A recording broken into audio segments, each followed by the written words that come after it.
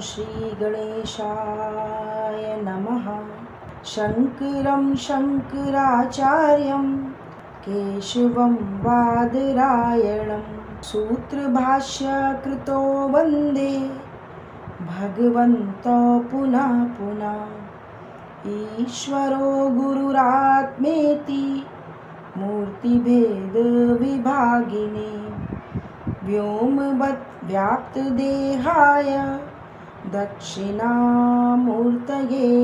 नमः। ॐ शान्तिः शान्तिः शान्तिः। आप सभी साधकों के हृदय में विराजमान ईश्वरीय सत्ता को मेरा शत शत नमन।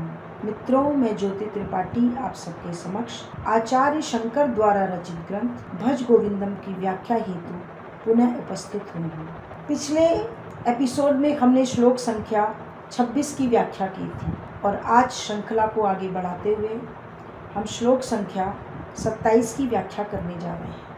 मित्रों, आज का ये श्लोक बहुत ही उपयुक्त श्लोक है, क्योंकि इसमें उस साधक के लिए आध्यात्मिक कार्यक्रम की व्याख्या की गई है, जिसे परम के अनुभव की ज़रूरत का एहसास हो गया है। जितने भी आध्यात्मिक उपदेशक हुए हैं, उन सब के उपदेश लगभग एक जैसे ही हैं, समान ही हैं। लेकिन बहुत कम साधक उनके वास्तविक अर्थ को समझने का प्रयास करते हैं। यहाँ भी कोई नई बात नहीं है। इसमें एक सच्चे साधक के लिए क्या चीज़ें आवश्यक हैं, उनकी आध्यात्मिक प्रक्रिया किस तरफ़ चलनी चाहिए, और उनका जो दैनिक जीवन है, उनकी दिनचर्या या उनके जीवन की जो ज़रूरत है आध्यात्मिक पथ पर आगे बढ़ने के लिए, वो कैसी होनी चाहिए, इस चीज़ की इसमें व्याख्या की गई है। तो आइए हम श्लोक का उच्चारण करते हैं। तत्पश्चात इसका भावार्थ एवं व्याख्या को देखते हैं। गेयम गीता नाम सहस्त्रम ध्येयम श्रीपतिरूपम जश्रम नेयं सज्जन संगे चित्तम देयं दीनजनाय च चित्तम भज गोविंदम भज गोविंदम गोविंदम भज मूढ़मते आचार्य कहते हैं, गीता, अर्थात श्रीमद् भगवत गीता और विष्णु सहस्त्र नाम का सदा गान करो गेयम सदा गान करो, अर्थात पारायण करो। सर्वदा श्रीपति का ध्यान करो। श्रीपति अर्थात विष्णु। विष्णु का ध्यान करो मेडिटेशन करो। मन को हमेशा सत्संग में लगाओ। सज्जन संगे चित्तम। अपने चित्त को सज्जन के संग में, अर्थात सत्संग में लगाओ। देयम दीन जनाए च वित्तम। और दीन जनों को, गरीबों को दान करो। वित्त, दान, धन का दान करो। हमेशा दीनों को धन का दान करो, उनकी मदद करो, गोविंद का भजन करो। इस श्लोक में आचार्य एक साधक को अपने जीवन में कैसे चलना है, इन चार चीज़ों के माध्यम से बताने का प्रयास किया है।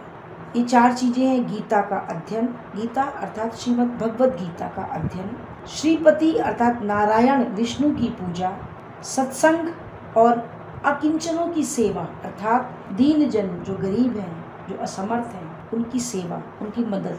एक साधक के जीवन में ये चारों स्टेप हमेशा होने चाहिए। उनके जीवन में ये चार प्रक्रियाएँ ही उनको परम की ओर गतिमान करती हैं। भगवत गीता उपनिषदों का सार है, जिसमें विशेष रूप से ये बताया गया है कि मनुष्य के दैनिक जीवन में उपनिषद के जो सिद्धांत हैं, उनका कैसे प्रयोग करना चाहिए। हम सब लोग उपनिषद को नहीं पढ़ सकते।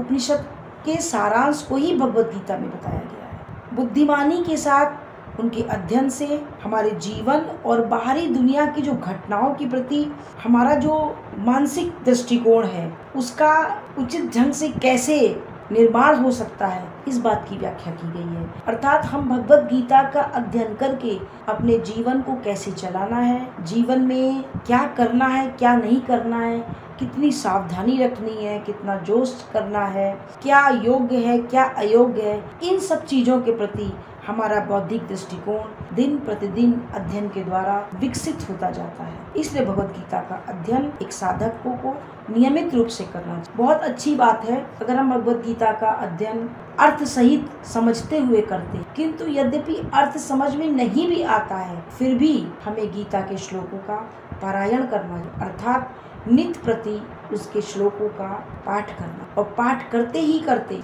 हमारे चित्त की शुद्धि के द्वारा हमारा मानसिक विकास होता है और हमारी समझ में परिवर्तन आता है।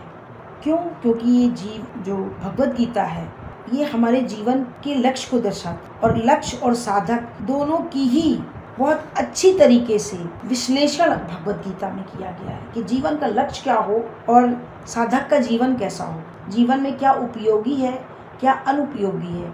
उसी को आत्म और अनात्म कह के व्याख्या किया गया है। इसलिए हमें भगवत गीता का अध्ययन अवश्य करना चाहिए। यद्यपि साधक के संतोष के लिए अध्ययन आवश्यक है फिर भी खाली श्लोकों को पढ़ के आत्मज्ञान हो जाएगा ऐसा नहीं कहा जा सकता।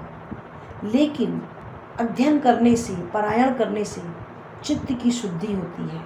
वि, विचार तर्क संगत और सर्वमान्य हमारे भले ही ना हो परंतु जीवन में सुधार हमें अवश्य आएगा, क्योंकि जब हम भगवत गीता को पढ़ेंगे, उसके निर्देशों को समझेंगे और अपने जीवन में उसको लागू करेंगे और दृढ़ता पूर्वक हम उसका जब अनुपालन करेंगे, तभी हमारे व्यक्तिगत जीवन में परिवर्तन आएगा, हमारी दृष्टि में परिवर्तन आएगा और जैसी हमारी दृष्टि होगी, वैसे ही संसार दिखेगा और वैसे ही हमारा जीवन चलेगा। दर्शन, आदर्श और तर्क संगत विचार तो बताता है, जिसके माध्यम से जो चिंतनशील लोग हैं, जो विचारशील लोग हैं, उनके दृष्टिकोण में परिवर्तन आता है, इस तर्क के द्वारा ही। लेकिन ये सब होने के बावजूद उन तर्कों को, उन विचारों को अपने जीवन में उतारने की कला के बिना, अच्छे दर्शन से या अच्छे दर्शन के ज्ञान से कुछ भी भला होने वाला नहीं है। जीवन में उसका अनुपालन होना चाहिए। वो मात्र अच्छे दर्शन का एक कोरा सपना बन के रहेगा, जब तक हम जीवन में उसको लागू नहीं करेंगे। दार्शनिक विचारों को जीवन में उतारने की कला ही सब धर्मों का सार है। सारे धर्मों में दर्शन को जीवन में उतारने के लिए कहा गया है। इसलिए ही ये विवेकानंद जैसे गुरु ने भी ये घोषणा की है कि बिना दार्शनिक आधार के धर्म ब्रह्मपूर्ण है। आधार दार्शनिक हो और धार्मिक व्यवहार के बिना दर्शन केवल एक स्वप्न है। अर्थात दर्शन जब तक हमारे जीवन में उतरता नहीं है, तब तक उसका कोई इम्पोर्टेंस नहीं है, उसकी कोई वैल्यू नहीं है, हमें उससे कोई लाभ होने वाला नहीं है। जब किसी साधक ने गीता का अध्ययन किया और उसके तर्क को समझ लिया, तब उसे गीता के सिद्धांतों का स्वयं अनुपालन करना होता है। और वो धर्म के ही माध्यम से हो सकता है, जिसे इस श्लोक में लक्ष्मी पति की पूजा कहा गया है, श्रीपति विष्णु की पूजा करने को कहा है। नारायण के हज़ार गुण इसको सहस्त्रनाम कहते हैं। विष्णु सहस्त्रनाम जिसमें नारायण के हज़ार गुणों का, नामों का वर्णन है, का चिंतन करना, उनके समक्ष आत्मसमर्पण करना और उसमें ही रम जाना, यही सच्ची पूजा है। ऐसा करने से हमारा मन अपने साधारण क्षेत्र से, अर्थात स्वयं अपने को विकृत करने वाली जो हमारी वासनाएँ हैं, जो हमारे संस्कार हैं, हम उससे ऊपर उठकर अपने आंतरिक व्यक्तित्व को हम पुष्ट कर पाते हैं। ये जब समझ हमारी डेवलप होती है, तभी हमें अपनी आंतरिक बाधाएँ, जिसका अध्ययन हमने पिछले श्लोक में किया है, कि हमारी जो वासनाएँ हैं, जो हमारी कामनाएँ हैं वो कामनाएँ के पूर्ण ना होने पर जो क्रोध उत्पन्न होता है और पूर्ण हो जाने पर जो लोभ उत्पन्न होता है, वो प्राप्त हो जाने पर जो मोह की दशा में हम फंस जाते हैं। इन सब चीज़ों से हम ऊपर तभी उठ पाएँगे जब हम, हमारा मन अध्ययन करने से, पूजा करने से, उपासना करने से हम अपने आंतरिक व्यक्तित्व को ऊपर उठाने का प्रयास करेंगे। इस तरह मन ऊपर उठकर भगवान लक्ष्मीपति के गुणों को, यानी जो उनके अंदर दया है, जो करुणा है, जो समता है, जो स्नेहता है, जो सत्यता है, उन गुणों को हम अपना पाते हैं। तभी हमें समझ पा, आता है कि परमात्मा और हम उसके अंश हैं तो उसके जो गुण हैं, वही गुण मेरे हैं। ये बिल्कुल वैसे ही है। जैसे आग का एक बड़ा सा गोला, जितनी धर्म उस आग में है, जो उसकी दाहकता उसका धर्म है, जो उसकी उष्णता, गर्माहट उसका धर्म है, जो प्रकाश उसका धर्म है, वही अग्नि के गुण एक छोटे से चिंगारी में भी होते हैं। ऐसा उपनिषद में भी बताया गया है। उसी तरीके से जो परमात्मा में दिव्य गुण हैं हम उनका अंश हम में भी हैं। लेकिन उन गुणों को बाहर निकालने के लिए हमें उपासना का, ज्ञान का, ध्यान का रास्ता अपनाना होगा, जो हमें गीता के माध्यम से ज्ञान योग, उपासना योग अर्थात भक्ति योग और ध्यान योग के माध्यम से मिलेगा। और इसी बात को आचार्य ने इस श्लोक में बताया कि जब हम भगवत गीता का नित्य प्रति अध्ययन करेंगे उसको विचार करेंगे, उस पर समझेंगे, उसके दर्शन को समझेंगे और फिर दर्शन के आधार पर, तर्क के आधार पर, विचार के आधार पर हम उसको अपने जीवन में उतारेंगे और ईश्वर की भक्ति करते हुए जब हम भक्ति भाव से गीता के अंदर परमात्मा को पाते हुए हमारी जब लगन, अगन, समर्पण परमात्मा के प्रति होगा तो हमारी उपासना होगी। ज्ञान के द्वारा, उपासना द्वारा हम एकाग्र होंगे और अपनी आंतरिक विकारों से ऊपर उठ के अपने व्यक्तित्व को ऊपर उठा पाएँगे। तभी हम अपने कुसंस्कारों पर, अपनी वासनाओं पर विजय को प्राप्त कर सकते हैं। अध्ययन और पूजन के हमारे सारे प्रयत्न हृदय में जो हमारी उठती हुई वासनाएँ हैं, उसको निसफल कर देती हैं। इन वासनाओं के तूफ़ान से हम अपनी रक्षा करने के लिए आचार तीसरा स्टेप बताते हैं, एक साधक के लिए सत्संग है। महापुरुषों के साथ रहने से उनकी प्रेरणा भरे दृष्टिकोण से हम अपने लक्ष्य की प्राप्ति में निरंतर रह सकते हैं और सतर्क रह सकते हैं। क्योंकि सत्संग की जो वाणी है, महापुरुषों की जो वाणी है, वो बार बार सुनने से हमारे मन मस्तिष्क में हमारा अध्ययन दृढ़ होता है, हमारी समझ विकसित होती है। और हम अपनी वासनाओं के कारण अगर अनेक बार डिस्ट्रैक्ट होते हैं तो सत्संग के द्वारा हम फिर वापस अपने ट्रैक पर आ सकते हैं। सत्संग से हमें अपने रास्ते पर आत्मविश्वास के साथ चलने में एक सहायता मिलती है, जहाँ भय आशंका, शंका, निराशा, मायूसी हमारे विश्वास को ये सब डगमगा नहीं पाती हैं। हमारे भी, हमारा विश्वास सत्संग के माध्यम से इतना दृढ़ होता है कि ये सब चीज़ें नगण्य होती जाती हैं। सब, सदा महापुरुषों का साथ रहने से ही हमें शास्त्रों का जो ज्ञान है जो उसमें तत्व विचार है, उसकी स्पष्टता हमारे मानसिक स्तर पर क्लियर होती है। इसीलिए गुरु हमारे धर्म में गोविंद से भी बढ़कर है। क्योंकि गुरु ही हमें उस गोविंद तक, उस ईश्वर तक पहुँचाने का माध्यम है।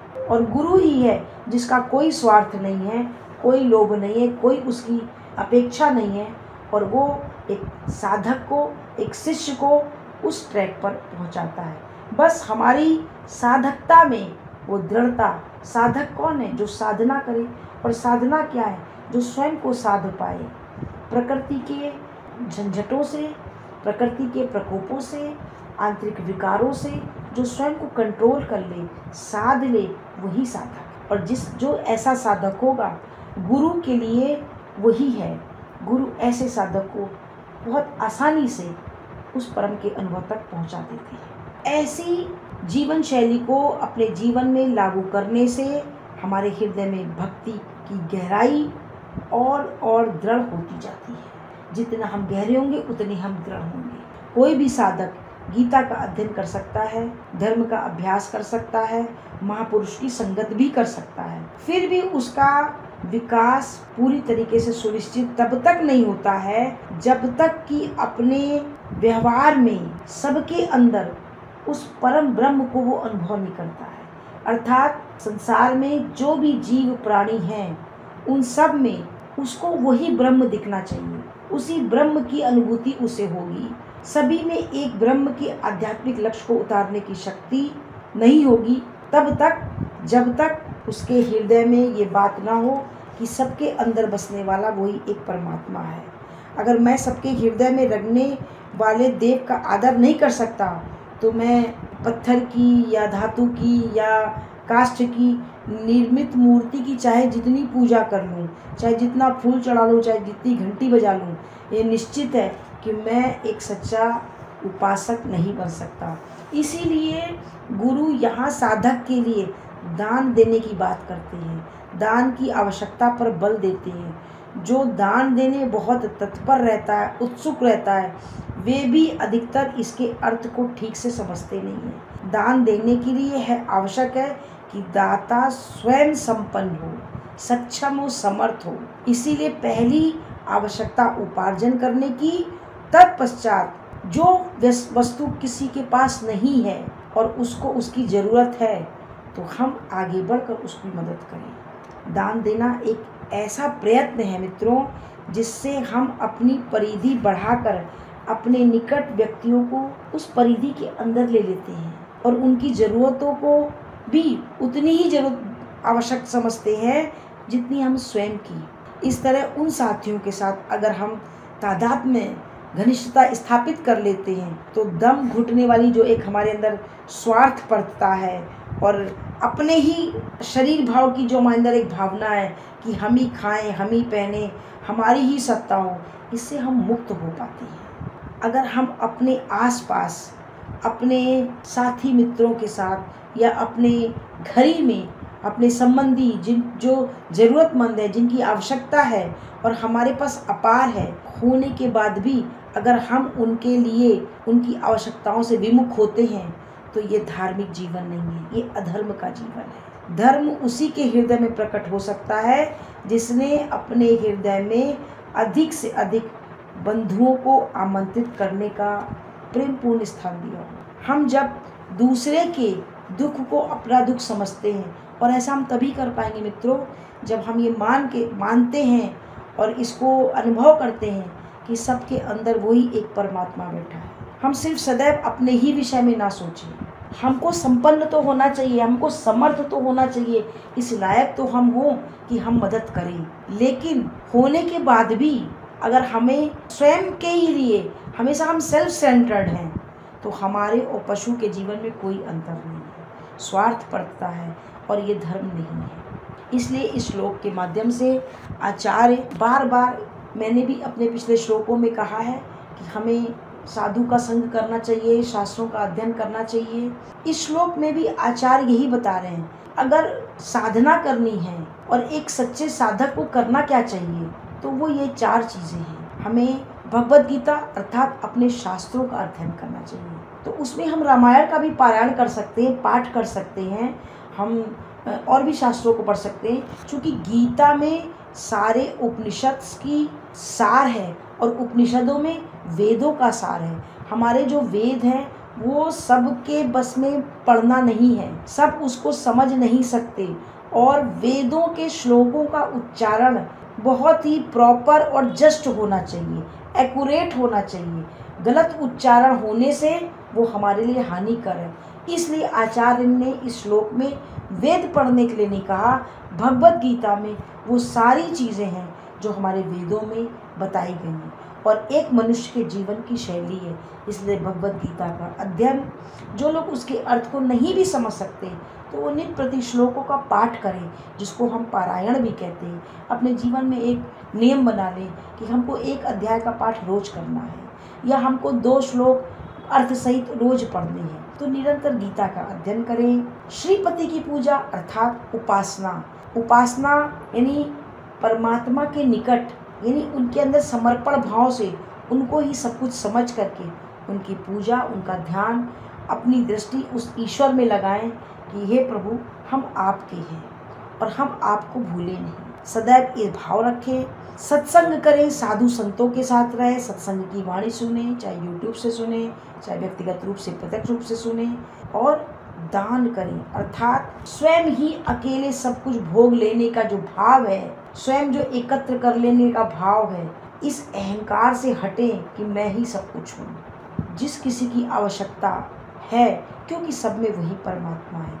ऐसी भावना के साथ जो साधक आगे बढ़ेगा, परम की अनुभूति उसी को हो पाएगी। और परम की अनुभूति करने के लिए आचार्य इस श्लोक में वो चारों रास्ते बता रहे हैं, जो एक साधक के जीवन में निश्चित रूप से होने चाहिए। आज के श्लोक में इतना ही। शेष पुनः। पूर्ण पूर्णमद पूर्णमिदम पूर्णात् पूर्णमुदच्यते पूर्णस्य पूर्णमादाय पूर्णमेवावशिष्यते। ॐ शान्तिः शान्तिः शान्तिः